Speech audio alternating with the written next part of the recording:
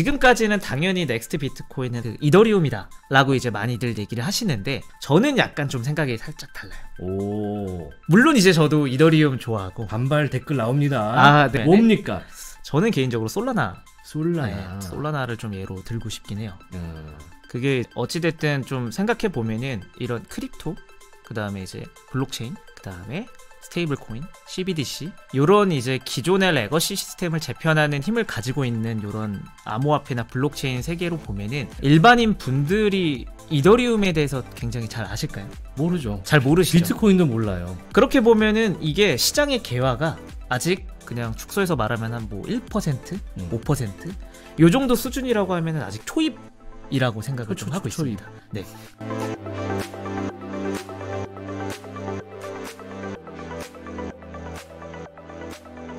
그렇게 되면은 결국에는 이 다음 스텝으로는 어, 어떤 대중적인 그런 layer 1이나 요런 디앱들이 이제는 좀 나와야 되지 않을까? 그럼 거기서 이제 경쟁을 하게 된다라고 하면 좀 유리한 네트워크가 어떤 걸까? 라고 했을 때는 솔라나가 좀 기대해 볼 만하지 않을까? 근데 그걸 하겠다고 네네. 지금 사실상 거의 10년 정도 이더리움이 그걸 한 거 아닙니까? 네, 맞습니다. 실패한 겁니까 그럼? 실패했다기보다는 어 뭐 지금 상황을 보면 딱 아시잖아요. 뭐 덱스에서 어떤 유니스왑에서 뭔가를 하려고만 해도 거의 한 30달러에서 50달러 수수료 아, 나가게 됩니다. 맞아요. 그게 이제 대중적으로 생각해 봤을 때는 이게 뭐 은행 우리가 ATM기나 어떤 수수료 할 때도 100원, 200원 해도 되게 1000원, 뭐 2000원 해도 되게 막 50달러 가져가던데. 그쵸. 근데 이제 이더리움 같은 되나? 경우에 예. 50달러라고 하면은 물론 그 로드맵이나 그 가는 길은 되게 정석적이고 저는 어 정도라고 생각을 해요. 근데 어찌됐든 그런 경쟁 하에서 본다라고 하면은 솔라나 같은 경우에는 되게 그냥 간단하잖아요. 네. 값싸고 빠르다. 근데 이더리움은 뭐 제가 이더리움을 되게 비난하는 건 아니고요. 어, 뭐 아직은 비단까지는 하진 네. 않았어요. 써지, 뭐지 어려운 이제 로드맵부터 네. 시작해가지고 이제 보면은 어, 이게 과연 대중적으로 어떻게 언제 도대체 될 수 있을까? 음. 이런 생각도 좀 하고 있습니다. 네. 일단은 경지훈 팀장께서 생각하시는 이 시장은 초초초초 초입인 거예요. 네, 네 맞습니다. 설명을 해드리자면 네, 네, 뭐냐면 많은 분들이 현재까지 비트코인과 코인조차 분간을 못 하시고 코인을 얘기하면 그냥 비트코인이라고 그냥 호칭을 얘기하시고 네, 네, 그게 다른 거거나 비트코인은 코인의 한 종류인 것도 인지를 못 하시는 분들이 90% 이상이잖아요. 맞습니다. 세상은. 맞습니다. 그런 상황이라면 아직 이더리움이 아무리 alt 대장이라고 하지만 솔라나와 같은 layer 1 후발주자들도 충분히 더 할 수 있다. 맞습니다. 그 얘기시군요. 네, 네. 예를 들어 솔라나 같은 경우에 이제 아시겠지만 사가라는 스마트폰을 낸 적이 있어요. 사가. 그게 이제 지금 버전 2가 출시 할인 같이 해가지고 사전 판매가 됐었고 뭐 나오는 건 2025년 정도라고 생각을 하는데 이더리움 기반의 뭔가 스마트폰이 나왔다. 라고 생각을 해보면은 우리가 기존의 삼성이나 애플에서 만든 스마트폰을 쓸 때도 조금만 느리거나 뭔가 해도 되게 막 짜증이 나잖아요. 이탈을 하고. 요만큼의 차이로 업데이트가 되고 네네, 신제품이 되는 사이인데. 맞습니다. 예. 물론 이제 솔라나의 사과폰이 막 엄청나게 성능이 좋고 뭐 보안적으로 안전하다라는 말씀을 드리는 건 아니고요. 솔라나 같은 경우에는 기본적으로 그런 대중적인 이런 소비자 중심적인 제품이나 앱에 관심이 많고 그걸 실제로 구현할 수 있기 때문에 그런 시도들을 하는데 예를 들어 사가 3나 사가 4, 뭐 갤럭시 지금 뭐, 뭐 24처럼 네. 그렇게 이제 버전업이 되다가 갑자기 뭔가 이런 mass adoption을 불러일으킬 수 있는 강력한 뭔가 스마트폰이 나온다. 라고 하면은 그때는 이제 진짜 역전이 될 수도 있다라고 생각을 하고요. 물론 이제 그럴 확률이 굉장히 낮기 때문에 저도 이제 포트폴리오에서 이더리움이 사실 대부분입니다. 아, 뭐 다 이더리움은 아니고요. 그걸 얘기하고 시작하시지. 아, 근데 이제 솔라나도 당연히 담고 있다. 지금 솔라나 사다가 멈추신 분들 많습니다. 아, 네. 아, 투자는 다 자기의 책임이다. 일단 저는 그런 가능성이 솔라나에서도 좀 있다. 이렇게 좀 말씀을 드리고 싶어요. 근데 제가 느끼기에 네네. 잘은 모릅니다만 이더리움과 솔라나도 직접 비교가 어려운 것들이 아닌가라는 생각도 들거든요. 네네. 이더리움이 훨씬 큰 그릇이라면 솔라나는 타깃 분야가 조금 더 명확한 그런 체인이 아닌가라는 생각이 드는데 맞습니다. 이게 직접 비교가 되는 분야인가요? 어, 직접 비교가 된다라고 하는 게 물론 이제 지향점 자체가 좀 다른 음. 것 같아요. 뭐 구조도 이제 뭐 솔라나 같은 경우에는 이제 모놀리식 단일 구조로 본다면 은 예. 이더리움 같은 경우에는 어쨌든 모듈 형식으로 이제 생태계를 확장해 나가는 건데 어플이니까. 네 맞습니다.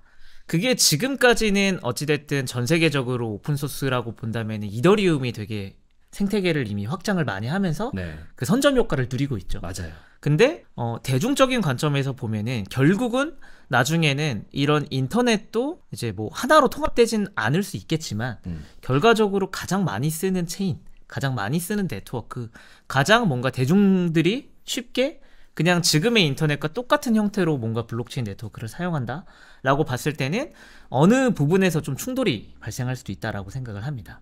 그런 부분에서 사실 경쟁이 될 것 같고요. 방금 말씀하신 것처럼 구조적이나 이런 것들하고는 사실 직접적인 비교는 좀 어렵긴 해요.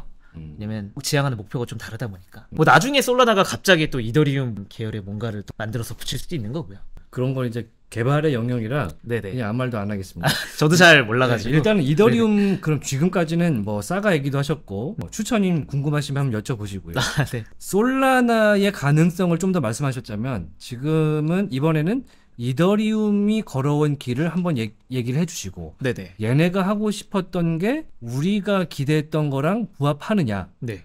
이거를 좀 보고 싶거든요. 어, 네. 한번 얘기 드리면은 이더리움의 이제 과거랑 뭐 앞으로의 로드맵 이런 것들을 다 풀어놓으면 너무 긴 얘기고. 그거는 저기 네. 부테린 씨가 할 네, 일이고 개발적인 내용도 예. 되게 많아가지고 뭐 저도 설명할 역량이 안 돼서 간단하게 이제 말씀드리면은 이더리움은 이제 비트코인 이후에 이제 이런 crypto 암호화폐에 어, 기본적으로 이제 programmable한 속성을 부여를 하게 됐어요. 음, 쉽게 말하면 어떤 돈이라고 하는 게 그냥 우리가 지금 사용하는 뭐 돈 같은 경우에는 입금하고 출금하고 뭐 이런 이제 교환 정도의 수단인데 음. 그런 프로그래밍 가능한 돈이 된다라고 하면은 어떤 조건들을 설정할 수 있게 됩니다.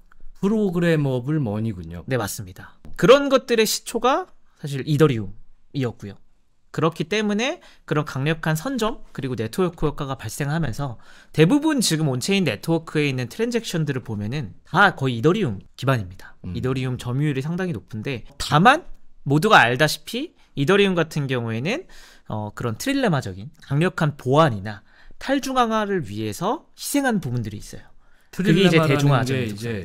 보안도 좋고 탈중앙화도 좋고 또 한 가지 뭐죠? 확장성입니다. 확장성을 네네. 모두 충족하지 못한다는 거잖아요. 네네. 보안이나 탈중앙화는 최고다. 어. 근데 확장성, 속도나 이런 다 많은 사람들이 네트워크에 들어왔을 때 또 성능을 계속 유지할 수 있는가? 수수료 문제도 있고. 네네. 그게 사실은 부족하기 때문에 지금 이더리움 2.0이라고 불리는 로드맵이 사실 그런 확장성 문제를 해결하기 위한 방법이라고 보시면 될 것 같습니다. 음. 그렇게 보면은 되게 지금 로드맵이나 이런 길들 자체는 되게 정석적이고 정도예요. 되게 바른 길입니다. 아, 바른 길 맞아요? 네, 바른 길은 맞는데 이 속도가 좀 문제죠. 뭐 네트워크의 속도가 아니라 이런 로드맵이 속도로 지적받는 시대가 됐군요. 로드맵이 언제 그럼 이행될 수 있을까? 로드맵이 어, 뭐 당연히 이제 그런 확장성 통해서 해결을 통해서 해야 되는데 과연 이게 좀 혁신적인가? 요런 비판들이 실제로 좀 많긴 했었어요. 이게 작년에 이더리움이 안 오르고 솔라나가 되게 올랐을 때 되게 트위터상에서 해외 이제 인플루언서 분들이 되게 논쟁을 많이 벌였습니다. 이더리움은 서지 뭐지 뭐 스펄지 뭐 되게 복잡한데 말. 이거 복잡한데 도대체 언제 되냐? 음. 그 너무 개발자 친화적이다. 뭐 이런 얘기들이 많다 보니까 뭐 솔라나랑 비교하시는 분들도 계셨고 조금 더 비탈릭 부테린도 그때 이제 좀 더 간소화할 필요는 있을 것 같다 라는 얘기를 했었거든요. 그런 면에서 본다라고 하면은 결국은 바른 길은 맞지만 이게 언제쯤 완료가 될지 실제로 이번에 덴쿤 업데이트가 완료가 되면은 정말 수수료가 30달러, 뭐 50달러가 아니라 뭐 3달러, 5달러가 돼? 약간 이런 얘기들이 좀 있을 것 같아요. 그래서 그런 것들을 좀 지켜보면서 뭔가 정말로 그런 로드맵이 이행되면서 수수료가 낮아지고 네트워크가 혼잡해지지 않는다라고 하면은 이더리움이 next 비트코인이 될 수 있겠지만 음. 그런 부분들이 계속해서 해결이 되지 않는다라고 하면은 지금 이제 비트코인이 주류로 편입되면서 이런 crypto에 대한 관심이 더 높아질 건데 과연 그때도 이더리움이 이런 포지션을 계속 가져갈 수 있을까? 이런 것들에 대해서는 이제 question mark가 붙을 수 있죠. AI 쪽 관심이 좀 많으신 분들도 생각해 보면은 지금 오픈 AI의 행보가 사실 이더리움이 가져가야 될 모습이 아닌가라는 생각을 하거든요. 음. 오픈 AI가 어쨌든 지금 그 챗GPT로 촉발된 이런 생성형 AI에 대해서 되게 처음에 product 딱 내놓고 로드맵을 제시를 했는데 그 이후로 모든 회사들이 다 뛰어들었습니다. GPT 만든다고. 음. 근데 지금 와서 보면은 얼마 전에 발표한 이제 소라 라고 하는 이제 AI 영상 AI 영상을 제작할 수 있는 AI를 보면은 정말 초격차가 느껴져요.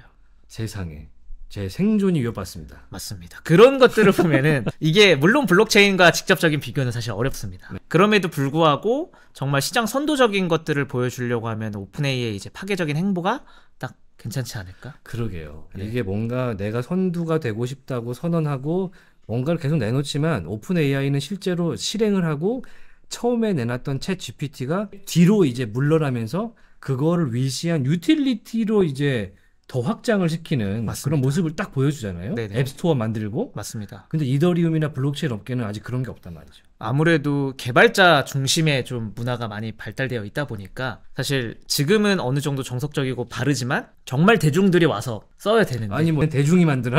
그것도 개발자가 만들지? 아, 그것도 맞습니다. 예. 근데 지금 보면은 OpenAI는 Sora 내놓고 아마 다른 기업들이 이제 소라 보고 어 우리도 영상 AI 만들어야지 음. 라고 했을 때 또 초격차를 보여주면서 다른. 것들을 보여줄 수가 있을 것 같아요. 이게 뭐 주식 투자하시는 분들은 아시겠지만 반도체에서 이제 엔비디아가 보여주는 그리고 뭐 삼성전자의 반도체 뭐 이런 것들과도 좀 비교를 해볼 수 있을 것 스마트 링 같은데 만든다 그러고. 맞습니다. 그런 것들하고 좀 비교를 해보면은 어찌됐든 대중화가 된다라고 봤을 때 그때도 이더리움이 계속 유지가 될 수 있을까? 이런 생각을 저는 좀 하고 있는 편이에요. 일단은 이더리움이 올해의 총화가 될 것이라고 전망하시는 분들이 상당히 많고 그런 기대감은 여전합니다. 맞습니다. 다만 그 로드맵이라고 불렸던 청사진들이 잘 되는데 얼마나 빨리 잘 되느냐도 사실 중요한 부분이고요. 네네. 얼마나 대중 친화적으로 가서 지금 ETF까지 나와 있는 비트코인의 세계와 비교했을 때 얘네는 뭐지? 라고 할 수 있는 얘기가 계속 나올 수 있으니까 그럼 좀 어, 비교가 될 수도 있겠다. 네네. 그러면은 이더리움 ETF라는 것이 나오기 전까지는 그냥 개발자들의 놀이터만 되 지 않겠느냐라는 네네. 생각도 듭니다. 네 네, 맞습니다. 개발자들의 놀이터가 결국은 뭐 나쁜 건 아닌데 나쁜 거 아니에요. 이걸 통해서 나오는 결과물들이 어쨌든 이제 뭔가 결과물이 나와서 이 결과물이 모든 사람이 다 잘 쓸 수 있게 그렇게 돼야 사실 mass adoption이 이루어지는 거잖아요. 그렇습니다. 네. 우리는 그게 지금 당장 갑자기 mass adoption이 됐는데 어 이더리움 너무 쓰기 불편해. 라는 얘기가 나오면 이더리움이나 솔라나에 대해서 전혀 모르시는 분들이 어 이더리움 이거 쓰니까 너무 불편해. 근데 솔라나 쓰니까 어 되게 저렴하고 싸네. 약간 요렇게 된다라고 하면은 지금 대중의 선택을 받을 수 있는 체인이 뭐냐? 음. 라고 했을 때는 솔라나도 어느 정도는 간택을 받을 수 있다. 물론 이더리움이 말, 말씀하신 것처럼 이제 총하고 사실 제일 최고 대장이지만 그런 다른 것들도 좀 이런 관점에서 볼 수가 있겠다. 물론 제가 개발자였으면은 이더리움에 되게 맹목적이고 되게 좋아했겠지만 저는 이제 개발자는 또 아니다 보니까 그러한 좀 다른 시각을 좀 요새는 좀 하고 있는 것 같습니다. 다른 얘기인데 그럼 이런 댓글 달릴 거예요. 솔라나 그렇게 좋아하시는 것 같은데 솔라나의 네트워크 다운 사태는 어떻게 보시는지. 아, 그거는 할 말이 없는 게 2022년에 아마 8번 정도 네. 네트워크 다운이 일어났었고요. 그 이후에 이제 우리는 바뀌었다. 이제 Firedancer도 나오고 이제 그럴 일이 없다라고 했는데 또 불났어요. 에, 얼마 전에도 불이 났죠. 네. 그런 게 사실 뭐 용서받을 수 없긴 합니다. 그럼에도 불구하고 저는 뭐 좀 실험적인 입장에서 보면은 그래도 솔라나가 2022년에 8번인데 2000... 이더리움 더 많이 갖고 계신 거 맞죠? 네, 맞습니다. 이더리움 기반을 다 갖고 있고, 뭐, 1년에 8번이었는데, 어, 이제는 한 번이네?